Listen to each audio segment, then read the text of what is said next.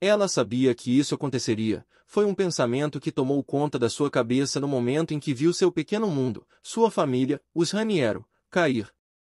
O castelo Raniero, onde ela morava, estava caindo aos pedaços. Ela nem precisou olhar para fora para descobrir, os portões do castelo foram destruídos e as paredes derrubadas pelos invasores. Não havia mais lugar seguro, seu pai e seus irmãos já estavam mortos. E os servos dentro do castelo não se saíram melhor, eles também eram membros da família Raniero. Agora ela é a única descendente direta que restou em Raniero. Ela não conseguia nem se mover no seu quarto porque a agitação estava ensurdecendo seus ouvidos. Uma lágrima escorre de seus olhos enquanto ela pensa que sabia que isso iria acontecer, não muito tempo atrás. O único herdeiro do clã dos lobos, Arsene Eckhart, morreu. Ele era frágil desde o nascimento, e eventualmente faleceu. No entanto, foi revelado que a morte de Arsene não foi devido à doença, mas sim o resultado do esquema de outra pessoa. O culpado era seu pai, o chefe da família Águia. Antes da morte do herdeiro do clã Lobo, o clã dos Lobos havia enviado uma proposta de casamento para a família Águia. Eles desejavam levar a filha da família Raniero que possuía a habilidade única de cura dos três clãs, para curar o filho do herdeiro do clã dos Lobos. A compensação que eles ofereceram foi justa, então não havia razão para Raniero recusar, o problema começou depois daquilo. Seu pai prometeu enviar um descendente direto de sua família, ele manteve sua promessa, entretanto, aquela que ele enviou era a única mutação dos três clãs, enquanto os outros filhos do clã tinham habilidades de cura, sua meia-irmã Chuvil, possuía um poder diferente. Ela tinha a habilidade de roubar a força vital de outra pessoa. Seu pai enviou Chuvil como a noiva de Arsene, para drenar sua força vital e eliminar o herdeiro do clã dos lobos, e eventualmente, o clã dos lobos perdeu seu herdeiro, mas o que seu pai não esperava era que todo o clã dos lobos perderia seu raciocínio. Os lobos que perderam sua razão se moviam com apenas um desejo: vingança, vingança pela perda de seu herdeiro. Rápido e implacável, eles vieram para alcançá-lo, brutalmente. Em um momento, seus olhos se fixam em um homem derramando lágrimas de sofrimento, uma visão tão chocante que a paralisa de medo, uma onda de pânico a invade enquanto ela se pergunta se ele notou que ela estava olhando. Ela saiu correndo, sentindo como se fosse morrer de um membro dilacerado. No final, tudo o que pôde fazer foi se esconder no lugar mais seguro que pôde pensar, era no seu pequeno quarto. Ela se escondeu debaixo da cama. Ela diz a si mesma que eles não poderiam tê-la visto, porque seu quarto está escondido na parte mais isolada da propriedade Raniero. Apertando os olhos ela tenta bloquear tudo, mas a escuridão de suas pálpebras não oferece conforto, ela relutantemente as abre novamente. Pela primeira vez, ela acha que é um alívio ser considerada a vergonha da família. Ela revela que este lugar é realmente difícil de encontrar, até mesmo as empregadas que não trabalham ali há muito tempo se perdem nestes corredores. Ela está viva, mas mal, com o cabelo vermelho, ela é considerada a desgraça da família Raniero. Ela é tratada como se não existisse e está confinada ali, mas mesmo quando trancada, ela sonha em voar sob o vasto céu aberto. De repente, ela se vê presa em um violento ataque de tosse, incapaz de entender por que sua garganta está tão dolorida ou por que está se tornando cada vez mais difícil respirar. O pânico a invade quando ela percebe que a fumaça está entrando em seu quarto pela porta. Há um incêndio. Seus olhos se arregalam em descrença quando ela percebe que eles atearam fogo na propriedade. Tossindo violentamente, ela sente gotas de suor escorrendo pelo seu rosto, seus olhos e nariz doem tanto, ela percebe que sua forma humana está começando a desmoronar. Em uma explosão repentina, enormes asas vermelhas se desenrolam de suas costas esticando-se amplamente. Ela lembra que até mesmo a habilidade de cura que o clã dos pássaros se orgulha, é inútil em uma situação como essa, eles não possuem o poder de se curar. Foi por essa razão que a família inteira morreu sem nem tentar resistir.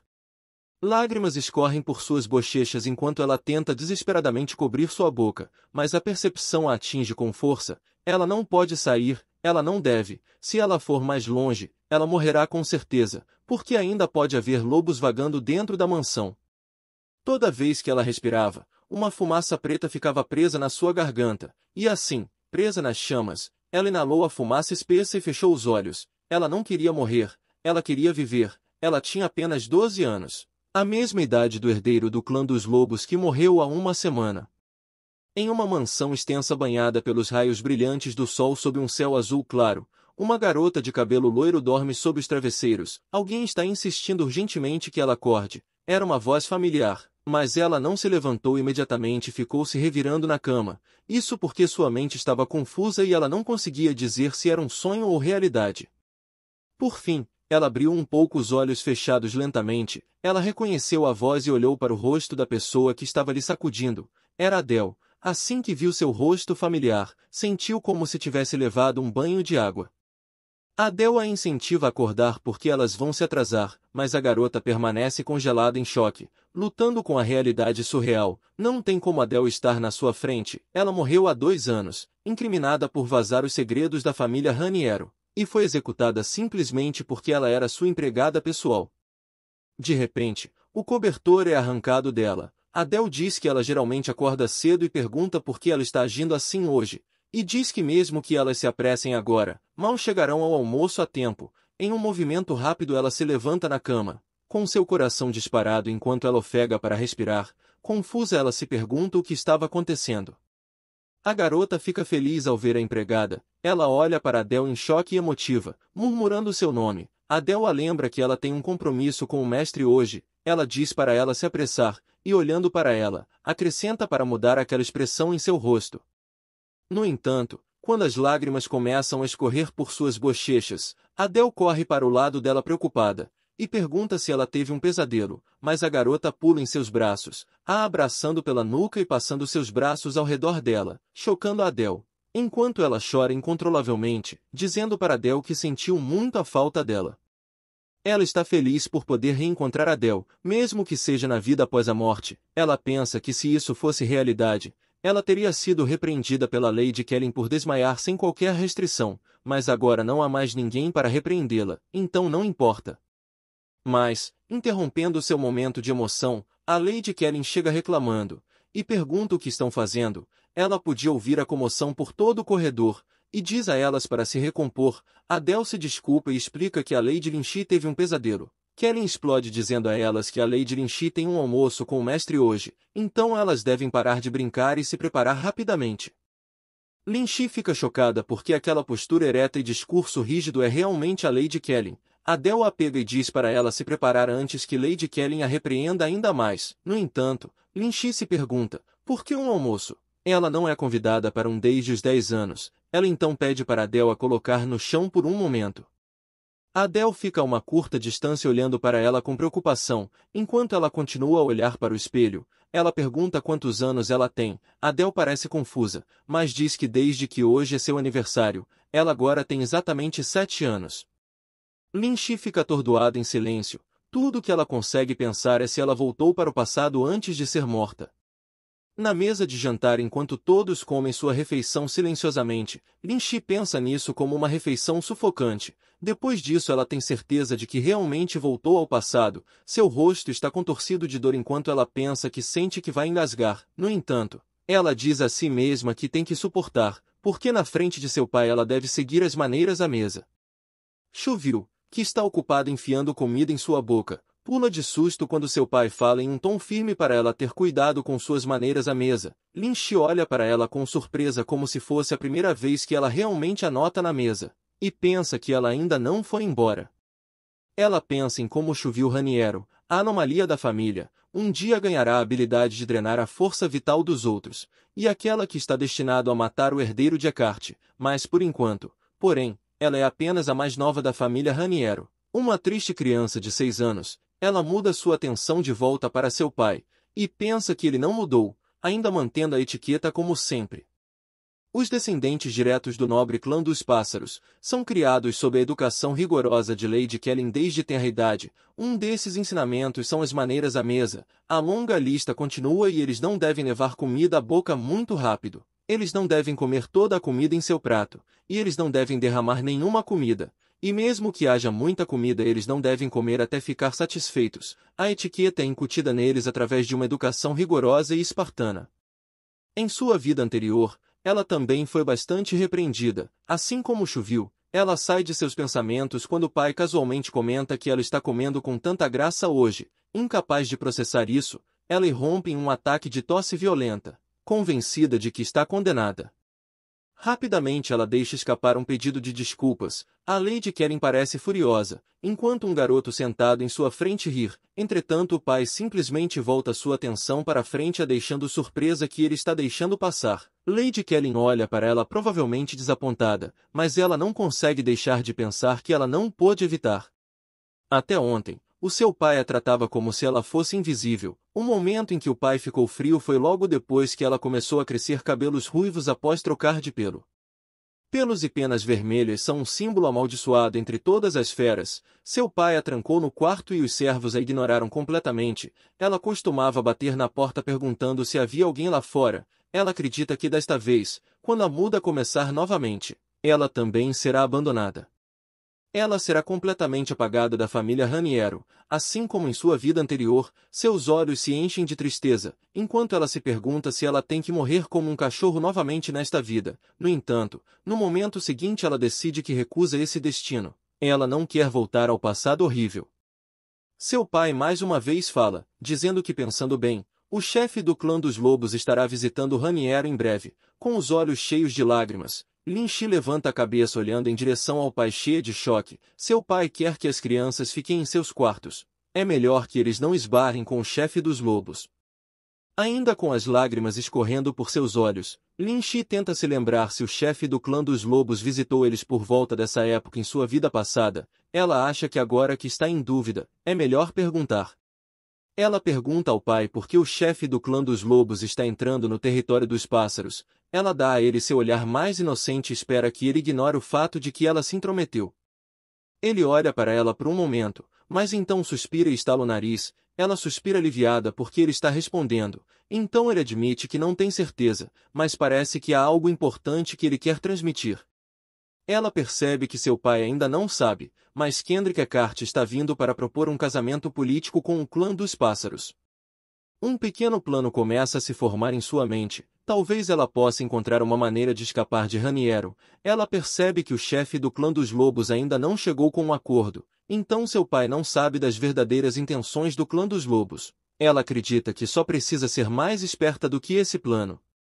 Mais tarde ela se senta em um sofá decidindo reorganizar seus pensamentos. Ela não sabe se é um efeito colateral da regressão ou se é porque ela é mais jovem agora, mas seu cérebro não está funcionando tão bem. Ela coloca os dedos na cabeça tentando se lembrar. Na sua vida anterior, o chefe da família Cart visitou a propriedade e enviou uma proposta de casamento, e levou um mês para Chuvio ir para a residência do Duque.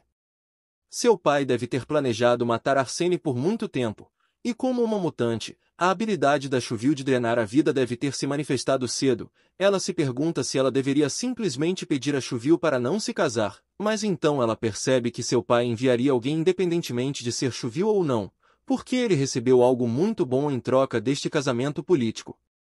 O rio Hampton é um pequeno rio entre os territórios do clã dos pássaros e do clã dos lobos. Pode ser menor do que outros rios, mas sua localização fornece bastante comida e muitas outras vantagens. Os dois clãs têm estado constantemente em desacordos sobre este rio. Portanto, o clã dos pássaros não recusará esta oferta preciosa, e o clã dos lobos prosseguirá com o casamento político para salvar seu filho.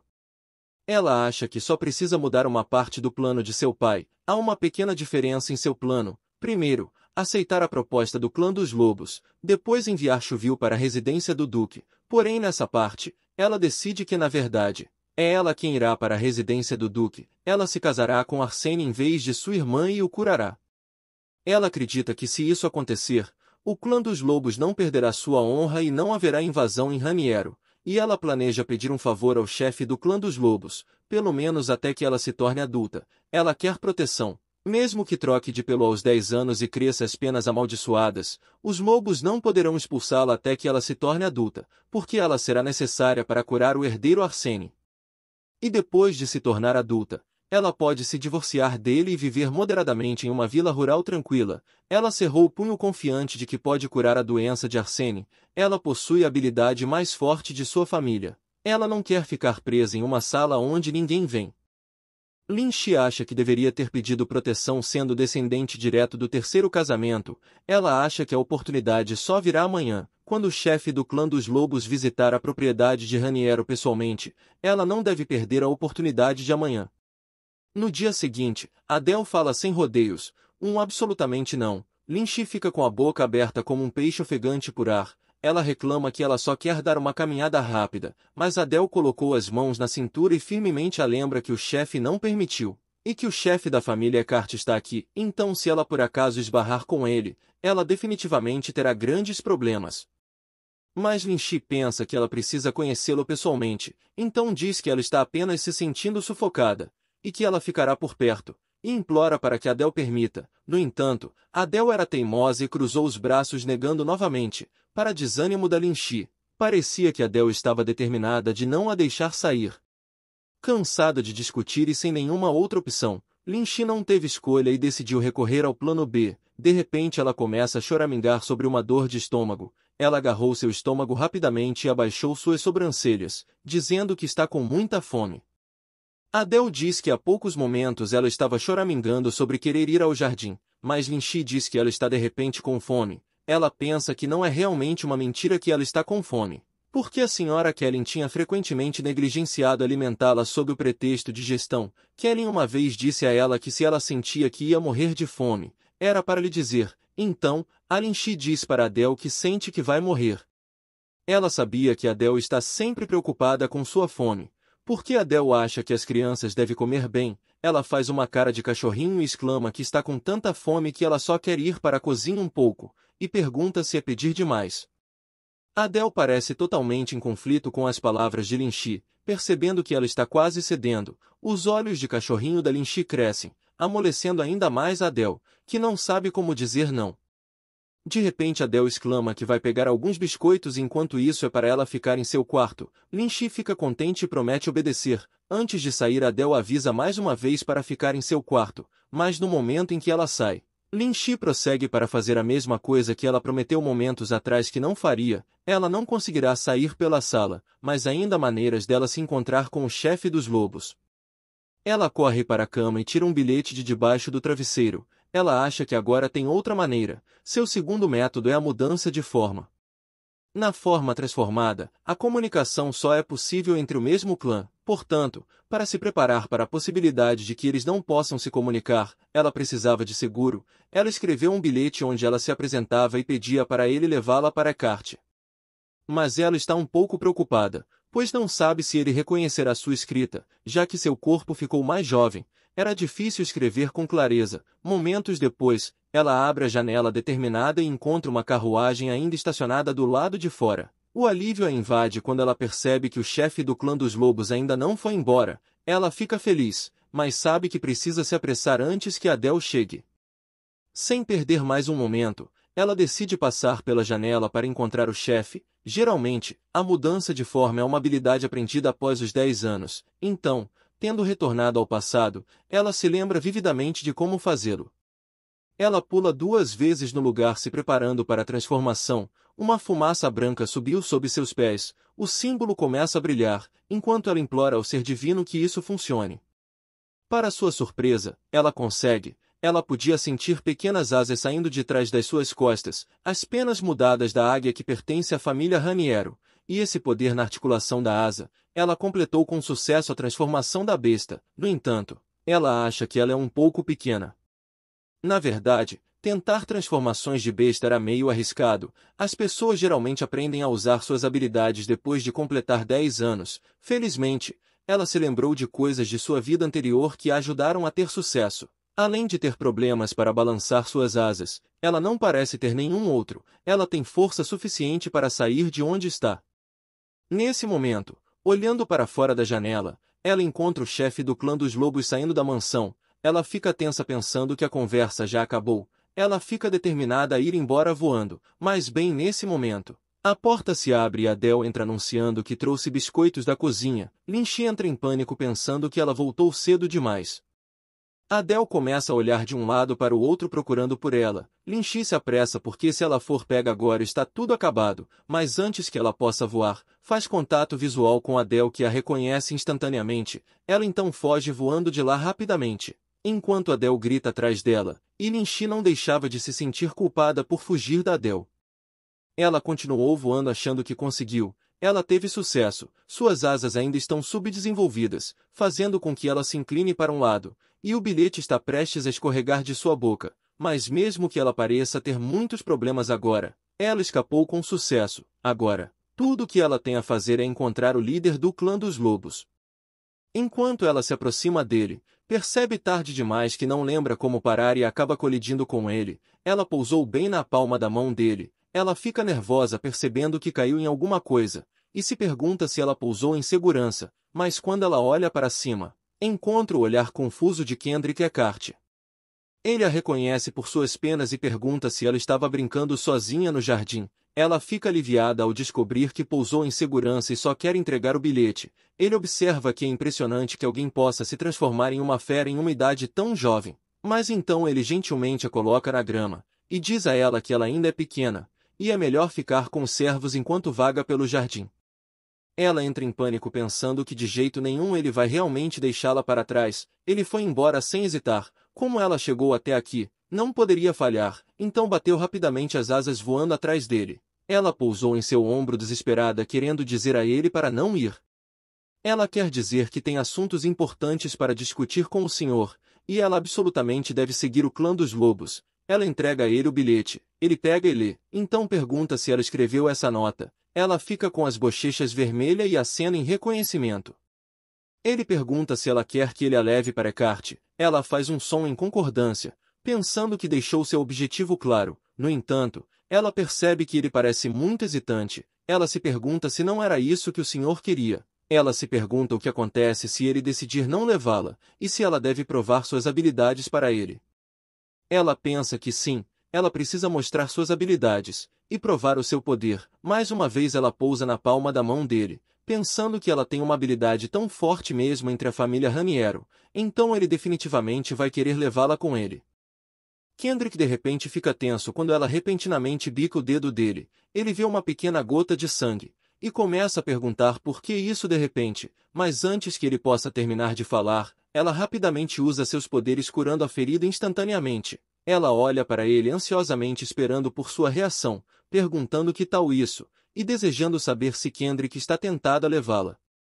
Kendrick ficou congelado de choque com o poder dela, mas o momento é interrompido por uma comoção repentina, ele se vira para ver os guardas se aproximando e o pânico a inunda. Eles são os guardas da família Raniero e ela se pergunta se eles poderiam ter descoberto que ela está desaparecida. Sua mente corre, percebendo que ela precisa se esconder rapidamente para não ser descoberta. No momento seguinte, outra mão desliza sobre ela, a escondendo sob sua palma. Kendrick diz que não sabe o que ela quer, mas tudo bem, ele vai levá-la com ele. Quando os guardas percebem que estão de frente para o chefe do clã dos lobos, eles imediatamente se afastam, abrindo caminho para ele. Enquanto isso, Alin Shi, escondida com segurança dentro de seu bolso, dá um suspiro de alívio, grata por eles não a terem descoberto. Ela acha que agora só precisa continuar se escondendo como um rato e segui-lo até a mansão dos lobos, mas, ela começa a se sentir abafada naquele bolso. Ela pensa que o bolso do senhor lobo é tão grande e aconchegante, mas agora ela é quem tem o grande problema. Estar neste lugar escuro continua a lembrando daquele dia. O cheiro da fumaça subindo de todas as direções, o cheiro forte de sangue em seu nariz, até mesmo os lobos se espalhando ao redor procurando por ela. Os pássaros tinham uma visão muito boa, então se ela colocasse a cabeça para fora, o povo de Raniero poderia lhe encontrar. Ela começa a ter dificuldade para respirar, sentindo como se estivesse de volta naquela tempestade de fogo. Ela se sente assustada, tão sufocada que não consegue respirar. Lágrimas brotaram de seus olhos, ela não estava aguentando mais, ela podia sentir seu coração batendo mais rápido que o normal. No momento em que Kendrick se acomoda em sua carruagem, ela rapidamente sai do bolso aliviada por estar lá dentro. Ela respira fundo tentando se firmar e recuperar o fôlego. Uma vez que ela recupera a compostura, ela fica impressionada com a beleza da carruagem, ela se pergunta desde quando as carruagens são tão luxuosas. Seu pai também era extravagante, sempre andando em carruagens chiques, mas isso está em outro nível, para ela parece um baú de tesouro com rodas. De repente ela muda seu peso muito para uma perna e começa a cair, mas uma mão aparece bem a tempo pegando ela. Ela acaba olhando diretamente nos olhos de Kendrick, se sentindo completamente intimidada. Ela estava com tanta pressa antes que ela não percebeu, mas esse homem na frente dela é um lobo, um predador que poderia devorá-la em uma mordida. Ela engole o medo alojado em sua garganta e então casualmente comenta mentalmente dizendo Olá Senhor, e que eles estão tendo um lindo tempo. Ela se pergunta se ele vai machucá-la, e então responde a si mesma que ele provavelmente não vai machucá-la, já que ela precisa tratar o Arsene, mas seus instintos estão gritando para fugir desse homem. Ela se lembra que ele também é aquele que exterminou sua família em sua vida passada, mas foi porque ele perdeu Arsene naquela época, porém ela ainda está com muito medo e quer fugir, mas ela reprimiu seu instinto de fugir imediatamente. Então fechou seus olhos e abriu suas asas. Quando ela treme ele pergunta se isso significa que ela quer voar para longe, seus olhos quase saltam para fora enquanto ela se pergunta o que, e diz mentalmente que claro que não, ela se pergunta quais são os sinais de rendição dos lobos. Ela acha que eles levantam as pernas quando afrouxam a guarda, ela tenta fazer isso com uma perna levantada, no entanto ele leva isso para o caminho errado e diz que este não é o lugar para ela se aliviar se ela precisar.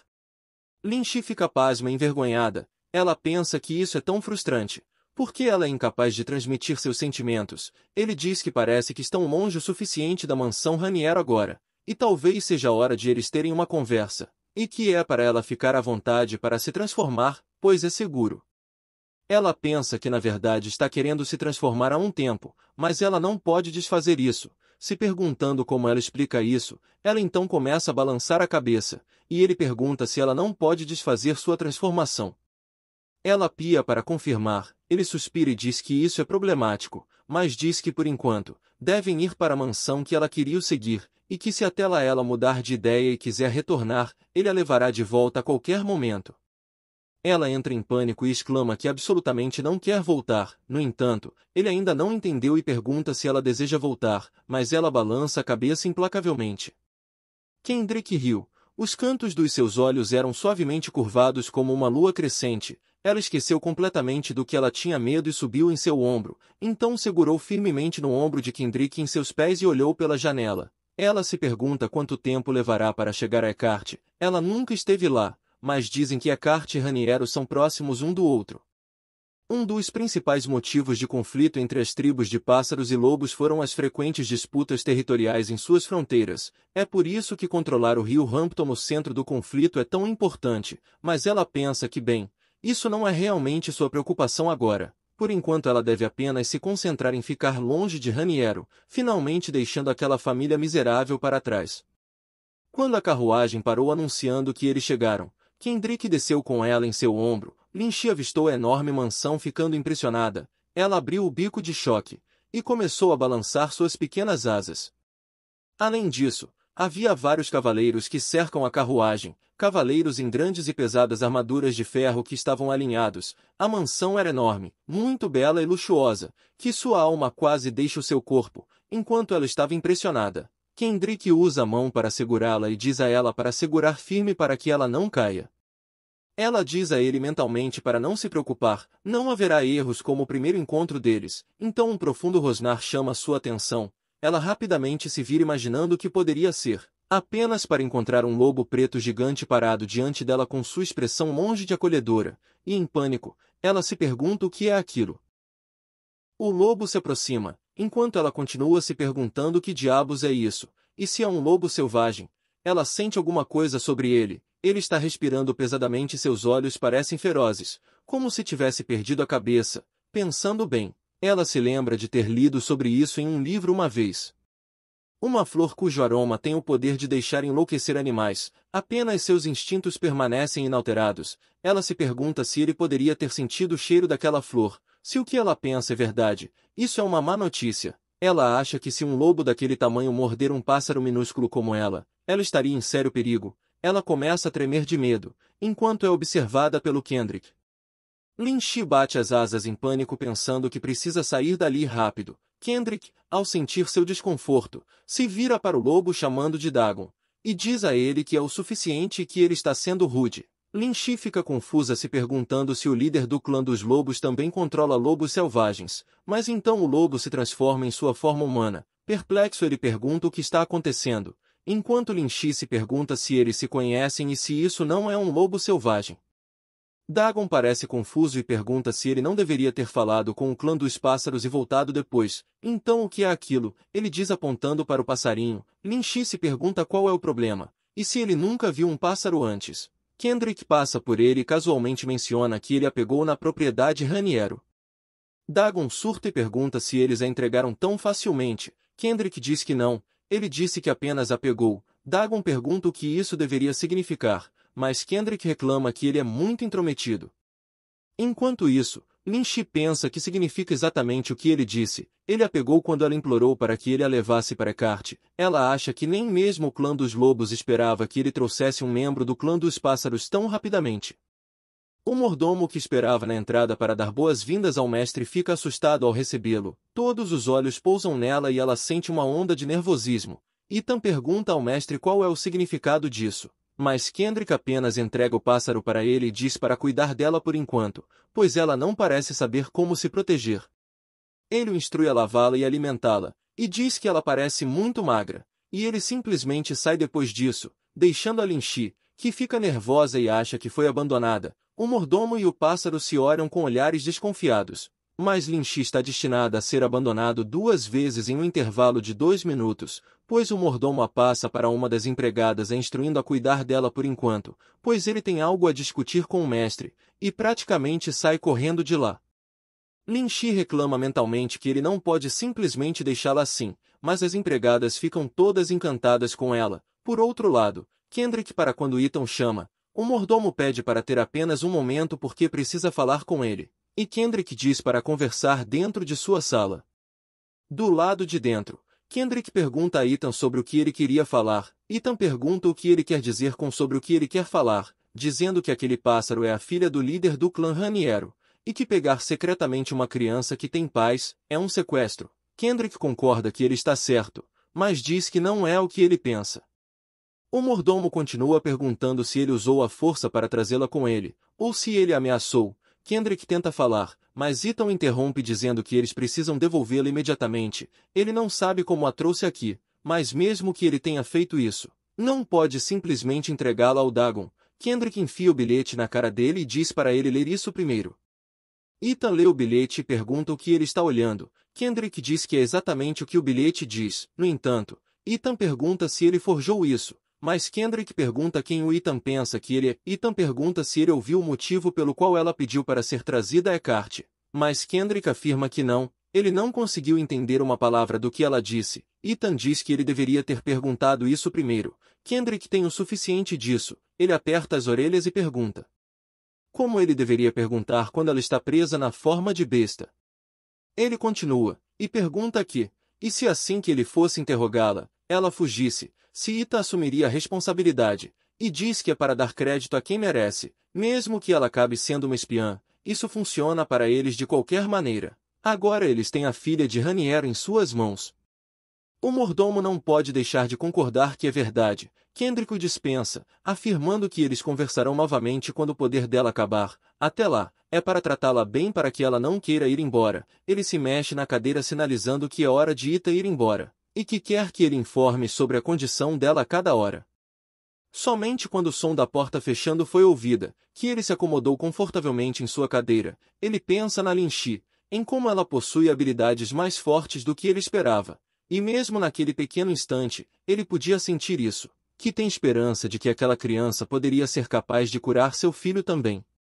Ele acha que eles podem levar seu tempo para transformá-la de volta em humana, e quando ela estiver de volta, eles ouvirão porque ela queria segui-lo, ele vai tratá-la com uma boa comida, e então um pequeno sorriso puxa seus lábios enquanto ele pensa que a fará sua nora. Enquanto isso, Linchi se pergunta se alguém está falando sobre ela, ela de repente sentiu arrepios, ela imediatamente se endireita quando Ita se apresenta, ela pensa que é aquele velho, ele é o mordomo que Kendrika confiou mais cedo, o mordomo diz que a levará para o quarto. Ele pede perdão pela preocupação, mas diz que deve perguntar, se o mestre deles não a trouxe aqui à força, ela dá a ele um olhar como se perguntasse se ele está falando sério, e pensa que não, como ele pode acreditar nisso sobre o líder da casa, mas pelo olhar em seu rosto ela pode dizer claramente que ele não parece acreditar nela. Ela queria dizer que na verdade, foi ela que implorou para ele levá-la junto, ela faz sons para contar a ele enquanto balança a cabeça. Ele pergunta se ela tem certeza. Ela pensa que é o que ela está dizendo, enquanto faz aqueles sons novamente. Os ombros de Ethan caem de alívio enquanto ele diz que graças a Deus, ele estava preocupado que ele pudesse ter usado a força novamente. Agora que ela pensa sobre isso, o Kendrick que ela conheceu em sua vida passada era assustador. Ela não consegue imaginar como ele era quando criança. Ela se pergunta se ele era orgulhoso e quieto, ou talvez ele fosse arrogante como as outras crianças nobres de sua idade. Ela sai de seus pensamentos quando chega em seu quarto. O mordomo abre a porta e anuncia que este será seu quarto. Chocada, ela se pergunta se este é realmente seu quarto. Ela o acha extravagante e bonito. Ela não pode deixar de duvidar se este é realmente seu quarto. Todos os móveis parecem tão luxuosos e confortáveis. Ela está morando em um quarto tão grande. Ethan diz a ela que ela ficará ali de agora em diante. Ele também garante que ela o procure se precisar de mais alguma coisa, e diz que mandará alguém ir até a aldeia comprar todos os itens necessários. Ela faz um som querendo dizer a ele que isso é mais do que suficiente. Ele então a coloca na cama dizendo a ela para descansar confortavelmente. No entanto, ambos os olhares então se viraram chocados percebendo quão pequena ela parece na vasta cama. Linchi percebe isso também, pensando que se ela dormir ali, definitivamente vai sufocar sob o cobertor. Ela começa a pular na cama deixando o pobre homem em um estado de nervosismo, enquanto ele implora para ela não rastejar sob o cobertor descuidadamente. Eles decidem trocar o cobertor para que ela possa dormir essa noite. Enquanto ela pensa que nesta forma ela não consegue nem abrir a maçaneta da porta, o mordomo então se vira para ela e pergunta se há mais alguma coisa que está a deixando desconfortável. Sua pergunta força a pensar sobre isso e ela percebe que nem teve a chance de comer os biscoitos que Adele levou para ela. Ela quer dizer a eles que está com fome. Ela se pergunta se pode dizer isso, mas ela lembra a si mesma que eles pediram para ela avisá-lo e se ela se sentisse desconfortável com alguma coisa. Ele percebe e pergunta se ela está com fome. Ela acena confirmando. Ele diz que terá uma refeição preparada para ela imediatamente. Dentro do quarto, a empregada trocava o cobertor por um novo, ela ganhou uma refeição, mas se perguntava se ela deveria comer tudo aquilo sozinha, e ela até recebeu um banho da empregada. Ela pensa consigo mesma que isso é incrível. Os lobos seguiram as ordens de Kendrick fielmente, a alimentou e deu-lhe banho. Graças a eles ela experimentou todo o luxo que ela nunca teve em sua vida. E agora que ela tem algum tempo livre, decide repassar seu plano novamente. Ela pensa em como ela conseguiu chegar à mansão dos lobos como planejado. Agora ela só tem que se casar com Arsene. Dessa forma ela não será expulsa antes de atingir a maioridade. No entanto, para ela, o único problema é a natureza do clã dos lobos. Os lobos só têm apenas uma companheira para o resto da vida. Então, uma vez que se casam, é irreversível e eles não querem desistir, então ela se pergunta se ela realmente planeja se casar com o herdeiro da família Cart e correr o risco de ficar com ele por toda a vida, mas a resposta é não. Se as pessoas se casaram jovem, sem seus consentimentos, eles teriam a chance de se divorciar quando atingissem a maioridade. Como este é um casamento contratual para benefício mútuo, divorciar-se mais tarde não deveria ser um problema. E esse casamento arranjado é provavelmente uma boa notícia para o clã dos lobos, eles precisam que o herdeiro se recupere de sua doença o mais rápido possível. No entanto, antes que ela possa trazer isso à tona, ela precisa sair desta forma de besta, mas ela meio que não quer voltar ainda. Ela então se pergunta se é certo para ela ficar tão relaxada. Ela deveria encontrar o chefe da família em breve para discutir o casamento. Desde que ela chegou, tudo o que ela fez na mansão dos lobos foi comer comida deliciosa e tomar um bom banho. Ela se sentiria melhor se pelo menos dissessem para ela usar poderes ou algo assim. Ela é filha de uma família rival, mas eles estão tratando ela como uma convidada de honra. A empregada diz que ela deve estar cansada da longa viagem, e pergunta se ela está exausta, e diz que agora que seu pelo está seco, vai preparar sua cama. Lynch acha que todos são tão gentis. Na família Raniero só Adele cuidava dela assim. Seu corpo cheira bem e ela se sente bem. A empregada sorri para ela informando que elas irão agora, e diz para ela ter uma boa noite e descansar bem. Quando elas saem apagam as luzes, e a escuridão enche o quarto, enquanto a Linchi se levanta na cama agarrada no cobertor cheia de medo. Agora que ela pensa, Percebe que todas as luzes neste quarto são mágicas. As luzes do teto desta mansão são todas movidas à magia. Então se eles desligam um, todos os outros apagarão também. Ela tenta sair da cama e corre atrás delas desesperadamente. Alcançando a única luz que vem da porta que elas estão prestes a fechar, ela implora para elas não a deixarem sozinha. Ela é instantaneamente lembrada do tempo no bolso de Kendrick, e ela pensa que já sentiu isso antes. Assim que a porta está prestes a fechar, um lobo enfia a cabeça e solta um rosnado baixo, enquanto ela revive as memórias daquele dia fatídico do incêndio, quando os lobos estavam atrás de sua porta a deixando desesperada. Ela corre atrás das empregadas batendo suas asas assustada, ela pousa no ombro da empregada e começa a choramingar. A empregada que parece preocupada em vê-la nesse estado, de repente percebe que ela tem medo do escuro. Elas também percebem que ela não poderia dizer a elas porque ela ainda está em sua forma de besta, e então rapidamente a levam de volta para a cama acendendo as luzes. Uma das empregadas ordena que Betty traga um copo de água. Lin Shi finalmente entende que ela realmente tem medo do escuro, quando ela estava no bolso de Kendrick, ela pensou que era só porque era apertado e abafado, mas depois de passar por isso, ela percebeu que tem medo do escuro. No entanto, ela está confusa porque não era assim em sua vida passada. As empregadas olham para ela preocupadas e prometem que de agora em diante perguntarão antes de apagar as luzes.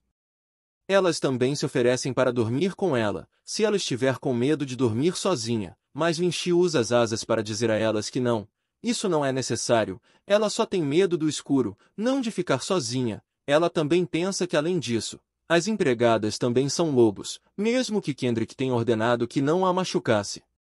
As empregadas então dizem que irão embora, e que se ela precisar de alguma coisa, é para chamá-las, e Linchi pensa que provavelmente é melhor para ela ficar em guarda, enquanto ela está deitada, pensa no dia exaustivo que teve. O cansaço finalmente a atinge antes que ela perceba, o sono a domina. Na manhã seguinte, ela é saudada por Kendrick, que a chama de pequena. Ele pergunta se ela gosta do quarto, mencionando que foi preparado rapidamente. Então ele não tem certeza se atende aos padrões dela. Ela sorri e diz mentalmente a ele que é incrível, mas curiosamente se pergunta por que ele está ali. Ele sorri e diz que se ela não se importa, ele gostaria de apresentá-la ao seu filho durante o jantar, e pergunta se tudo bem. Linchi fica surpresa, e se pergunta se ela finalmente vai conhecê-lo. Lin Shi está correndo com suas asas batendo descontroladamente. Enquanto ela corre pelo corredor confusa, ela deveria conhecer o herdeiro do clã dos lobos, mas se pergunta por que ela está sendo perseguida e fugindo dos lobos. Duas horas atrás, ela se perguntou se ela finalmente iria conhecer o Arsene. No entanto, Kendrick não consegue encontrar Arsene em lugar nenhum. Ele deveria estar em seu escritório neste momento. Ele diz que parece que ele saiu para caminhar e pergunta a Lin se ela pode esperar até que ele volte.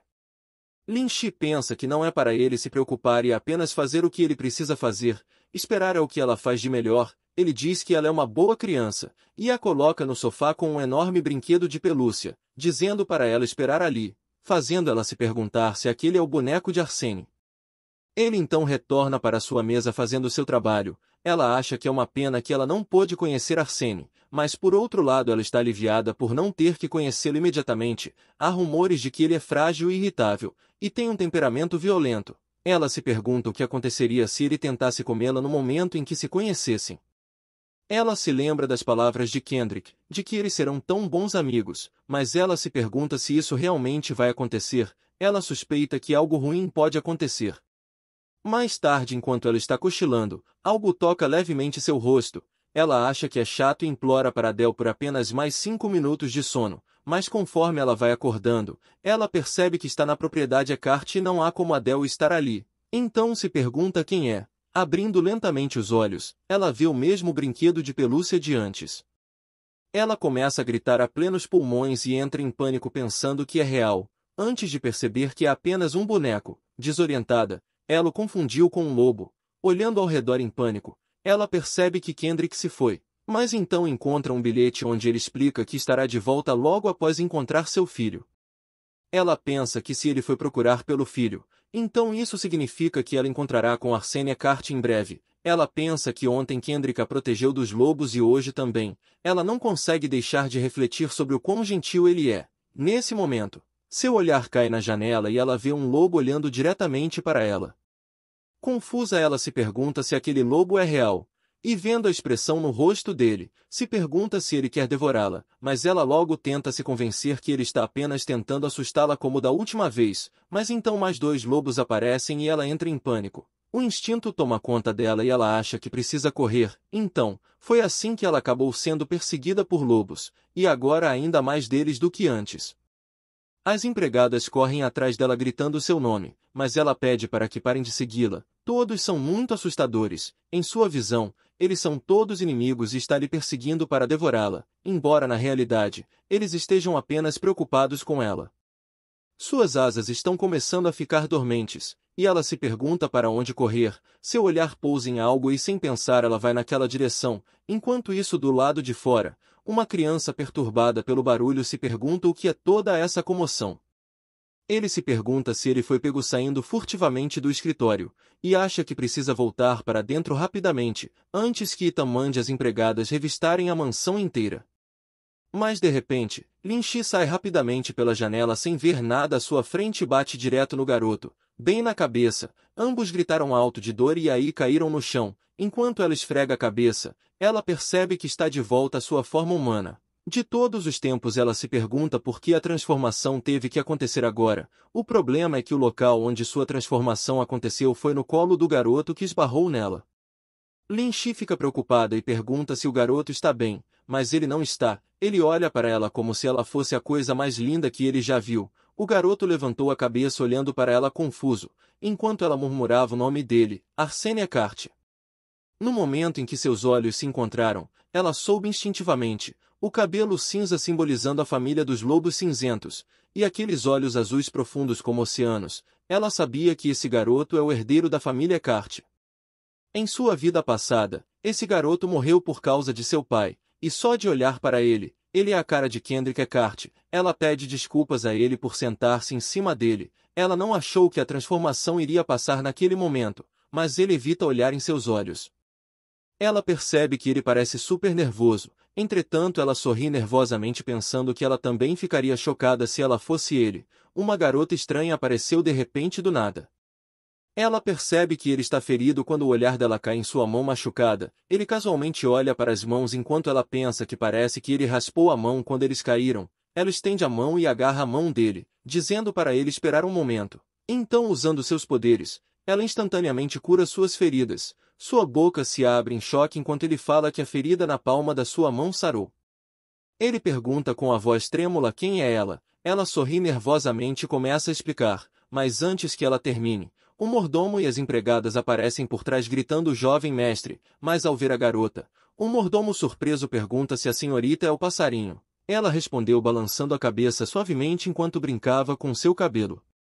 Mais tarde, ela está sentada em frente a Kendrick no sofá. Depois de um momento de hesitação, ela se apresenta como Linchi Raniero. Ela afirma que no dia em que ele veio para a mansão Raniero, ela secretamente ouviu conversando com seu pai, e diz que ele mencionou que sua família estava procurando por um parceiro para se casar com Arsene. Ela revela que é por isso que ela pediu para vir, porque ela poderia ser útil, ela acha que é claro que a parte sobre ouvir a conversa é uma mentira, pois ela não precisa ouvir algo que ela já sabe de sua vida passada. Ela declara que vai curar o Arsene, em troca, pede por favor, que ele deixe ela se casar com ele. Kendrick continua olhando para ela com seu rosto neutro, e logo diz que há algo que ele quer lhe perguntar, ele quer saber o que ela quer em troca da cura de seu filho, deixando ela perplexa com a pergunta.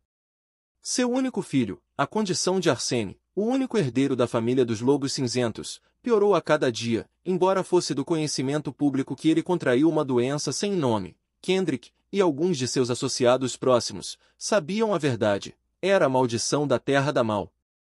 Damal é a terra amaldiçoada, teve uma antiga maldição colocada sobre o território, era um lugar onde alguém poderia perder a vida se entrasse descuidadamente, é por isso que o clã dos lobos proibia estritamente e controlava o acesso a Damal, no entanto, Arsene teve a maldição da Terra da Mal sem nem mesmo chegar perto dela. Manchas pretas que pareciam padrões antigos apareciam e desapareciam por todo o seu corpo, as convulsões tornam-se mais frequentes, às vezes até febre ou incapacidade de respirar. Ninguém conseguia encontrar uma maneira de lidar com a maldição, porque essa foi a primeira vez que alguém recebeu a maldição sem pisar na Terra da Mal. Um médico informou que eles precisavam pesquisar mais sobre isso, pois era atualmente incurável, talvez fosse melhor enviar seu filho para algum lugar para tratamento. Kendrick teria mandado Arsene embora se pudesse, mas Arsene era o único herdeiro da família dos Lobos Cinzentos. Além disso, ele é o único herdeiro direto que herdou fortemente as habilidades do clã dos Lobos. Se algum dos clãs fosse hostil à família dos Lobos, Eles certamente tentariam prejudicar Arsene se ele partisse para tratamento. No final, Kendrick teve a ideia de negociar com a família rival Raniero. Se a habilidade de Eckhart fosse o poder mais forte de qualquer clã, a habilidade de Raniero era exatamente o oposto. Foi dito que os filhos de Raniero com habilidades excepcionais podiam curar qualquer doença. Além disso, essa habilidade de cura era dita ter se originado de um certo clã antigo que já havia desaparecido, desde que tanto a maldição de Damal quanto a habilidade de cura do clã dos pássaros se originaram nos tempos antigos. O clã dos pássaros pode ser a única coisa capaz de curar a maldição de Arsene. Kendrick também acha que, além disso, Lynch é uma criança muito especial, ela é capaz de usar sua habilidade antes mesmo de sua primeira muda, e quase não há vazamento descontrolado de sua habilidade. Ele percebe que ela provavelmente tem uma das habilidades mais fortes até mesmo dentro de Raniero. É por isso que ele está muito curioso. Se ela realmente pudesse curar Arsene sem segundas intenções, ele suspeita que ela deve ser uma espiã de Raniero. Ele está ciente de que o chefe do clã Raniero é mais do que capaz de tal coisa. Ele continua a olhá-la com olhos atentos, sentindo que há outro motivo por trás de suas ações, enquanto ela começa a se mover desconfortavelmente. De repente, ela deixa escapar que mesmo que ela se torne horrível, por favor, que ele não a abandone. Em uma voz chocada, ele pergunta o que ela acabou de dizer. Lynch mordeu o lábio como se estivesse pensando por um momento, então gaguejou e abriu a boca.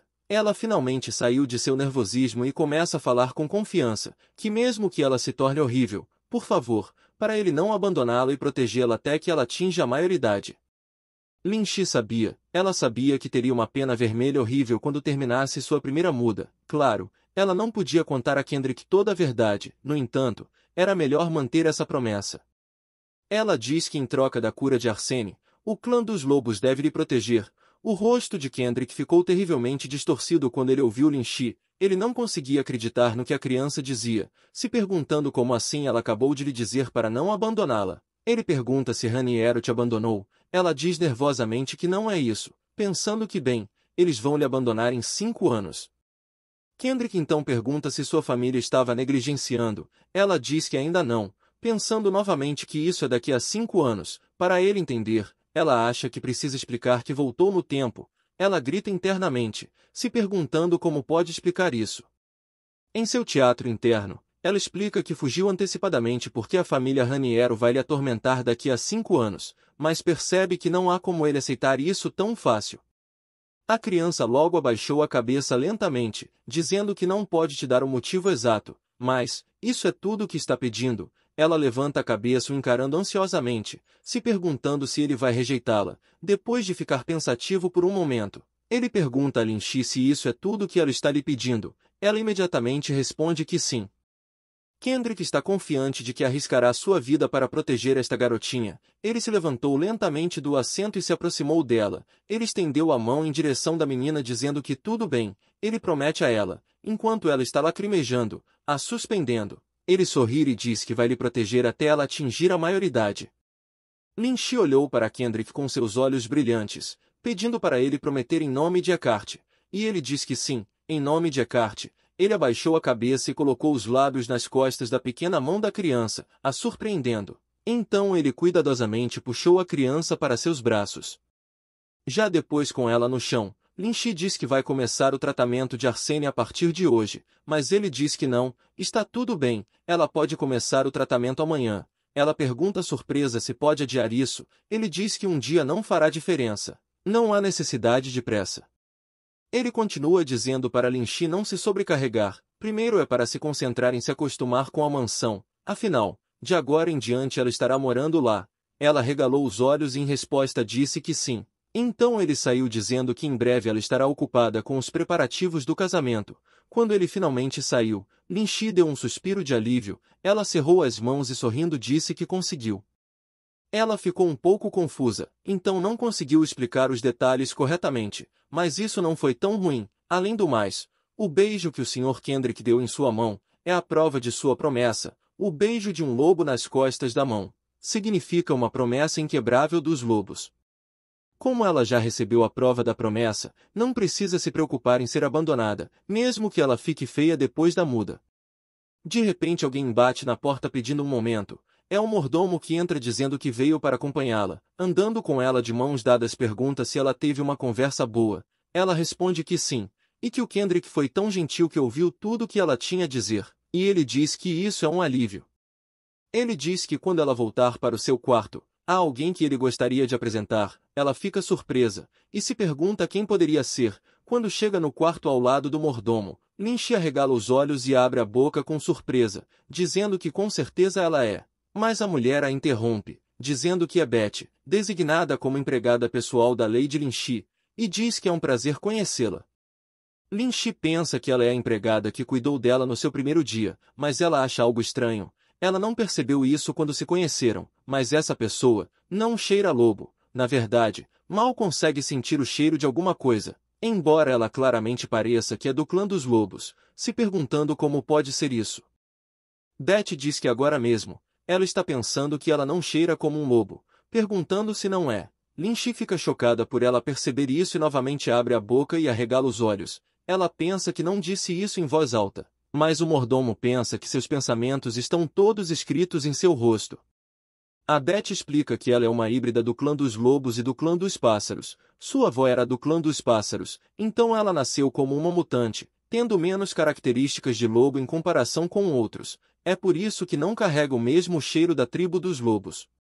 O mordomo diz que Beth é a única híbrida do clã dos pássaros nesta mansão, é por isso que o chefe da família ordenou que ela fosse designada como sua empregada pessoal, pensando que Lynch se sentiria mais confortável perto dela, afinal, ela é a convidada do mestre. Lynch pensa que ele é mais atencioso do que ela esperava.